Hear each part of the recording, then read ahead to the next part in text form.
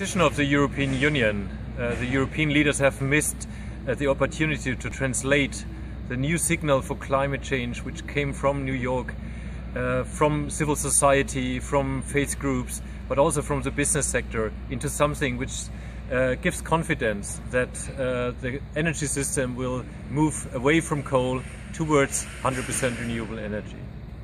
With this signal, um, the process of the United Nations uh, is not starting in a good uh, in a good way, and other parties now have to demonstrate that we have to limit global warming far below two degrees, which means that we have to address the phase out of coal.